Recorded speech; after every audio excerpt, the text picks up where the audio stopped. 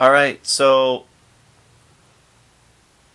um, I just woke up from a nap, and this I see this, but this was posted March twenty third. So it's Kurt Cobain with Tad.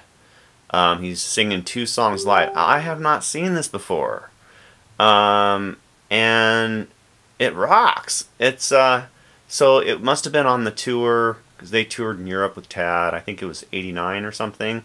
Anyway, he kind of Kurt kind of sounds like Lemmy a, a little bit in in this. Maybe if if like it's like Lemmy's little brother or something, you know, something like that.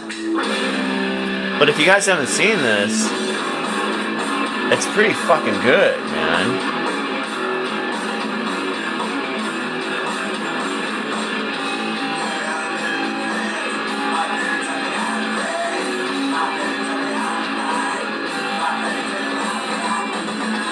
Yeah anyway um this is another guy's video so i don't i don't want to you know you guys got to go watch it.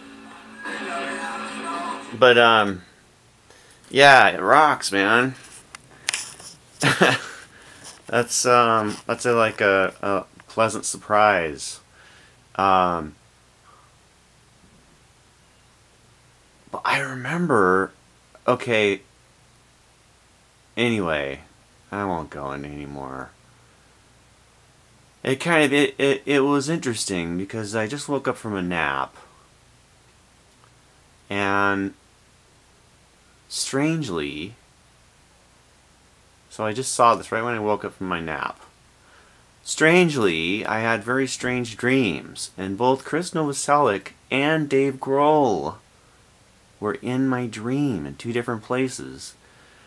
So Chris randomly comes over with this this this other guy, and I was living at home with both my parents, and um, I was really we were we were arguing, which was strange, and um, and I was telling telling my parents I looked like I think I was like I was wanting to get out of there, and I was wanting to go stay somewhere else, and um, and I was telling them, and all of a sudden Chris comes over, and I was embarrassed because I was arguing with my parents, and Chris Chris was there, and he was with um, that some uh, some other guy, and they needed parts to repair like a refrigerator or something, and and my my mom and dad are like, who are all these people?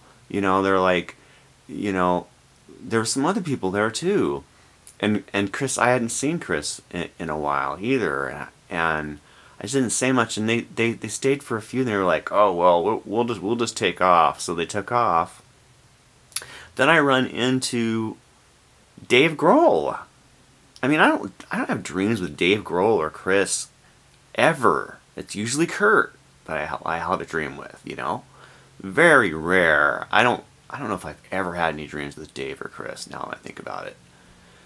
Anyway, so I'm talking to Dave, and I'm like, whoa, man, it's so crazy to run into you because I just ran into Chris, you know? What a synchronicity. And I was like, what a synchronicity to run into you both, you know, um, on this same day. And then I start talking to Dave about synchronicities, and we're riding in, in a car, in the back of a car, somebody's driving, and, um, and I was just talking to Dave. Anyway, that's weird. That's totally weird. And I wake up and this video pops up and I'm like, Kurt sing with Tad? I'd never seen this. And it's strange because I would have watched this if I saw it pop up um, any other time. So it just popped up right after I woke up from that dream. So that's strange. Anyway, alright. Take care. Bye.